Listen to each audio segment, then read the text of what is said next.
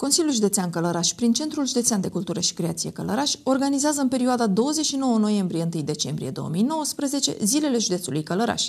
Festivitatea de deschidere a evenimentului va avea loc vineri 29 noiembrie, începând cu ora 12, în sala Barbu Știrbei a Centrului Cultural Călăraș. În următoarele două zile, manifestările dedicate județului vor continua pe scena amplasată pe platoul din fața sălii Barbu Știrbei, cu spectacole folclorice pregătite de ansamblu Bărăganul, cât și de ansamblurile folclorice din comune, recitalul cunoscutului interpret de muzică populară Constantin Măgureanu, dar și de concertele susținute de Krypton Unplugged și cei de la trupa Iris – de asemenea, în ultima zi a evenimentului cultural, pe scenă vor urca într-un recital de excepție Maria Buză și Taraful, actorul și interpretul Ionus Dulgheriu și de asemenea vor susține programe artistice tinerii din cadrul grupului Flores Campi, dar și cei ai Palatului Copiilor din județul Călăraș.